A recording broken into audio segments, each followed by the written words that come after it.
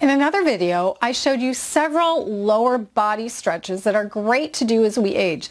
In this video, I'll show you upper body stretches.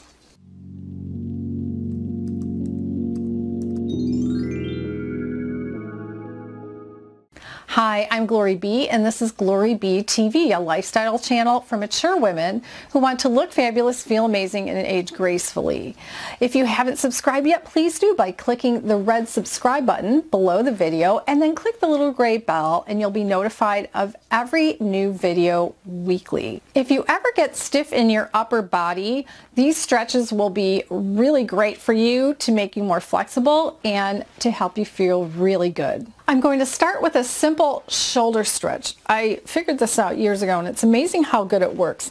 I just put my hands together like this and I just pull and stretch them out and my goal is to feel the stretch right in these muscles where a lot of us hold a lot of tension. You just put your arms forward and stretch them down and then you can even move your arms up and down and get a slightly different stretch. It feels so good. Next are neck stretches. Now I normally do these at the gym while I am on a particular machine and I'm in between sets. But the first is just to take your head and gently pull your neck to the side so that you're feeling the stretch on one side of your neck and I like to hold it for about 15 seconds and then gently release. I might even shake my head a little bit.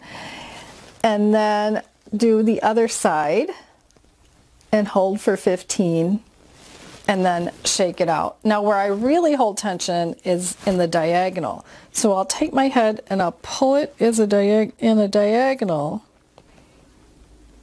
and hold for 15 and shake it out and then pull on the other angle. So I'm not pulling straight down and I'm not pulling at the side, just nicely at the diagonal. And that, that right there feels really good. Next, I'm going to show you a doorway stretch, but the camera will have to be moved for that. I love the doorway stretch. This doorway stretch is great for your posture. Now, I'm going to come into this doorway and just stretch my shoulders. Oh, that feels really good. Can you see how this would be good for your posture? Just find a doorway, like a bathroom doorway is perfect, a bedroom doorway, anything on the smaller scale.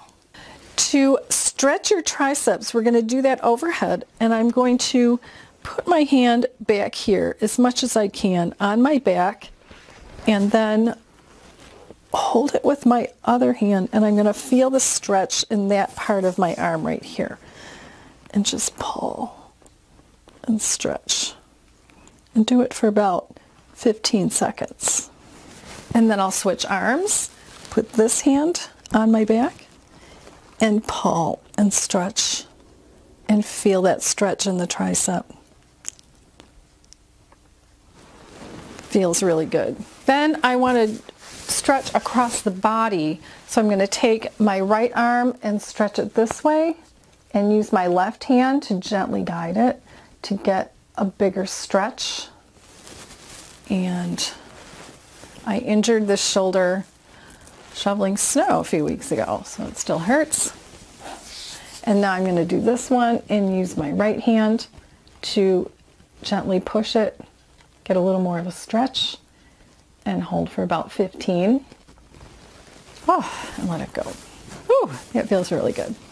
Occupational therapists have also shown me forearm and wrist stretch and we forget to do these and we're using computers and we're using the mouse and we're using phones all day but these are really important. So the first is to take your wrist and put it down and use your other hand to gently guide it and you can feel a stretch in there. Oh my goodness, it feels so good. And then the other is to turn your hand over and pull this way. It feels really wonderful. And then switch hands and do this one. Obviously, I'm not taking all the time to do 15 seconds or 30 seconds like I normally would.